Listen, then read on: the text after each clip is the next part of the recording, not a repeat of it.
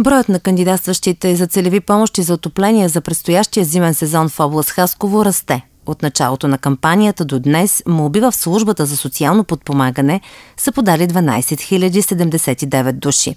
Заповеди за отпускане са издадени на 8439 домакинства, а на 1956 е било отказано.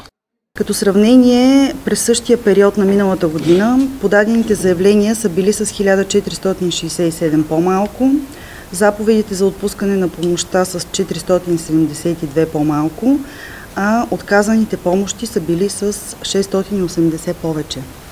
Което значи, че тази година се наблюдава тенденция към по-малко постановени откази.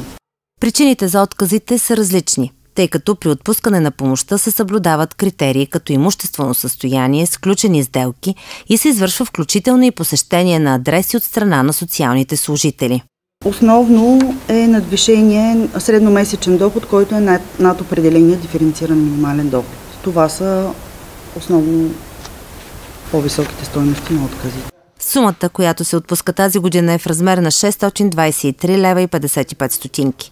Тя се изплаща еднократно.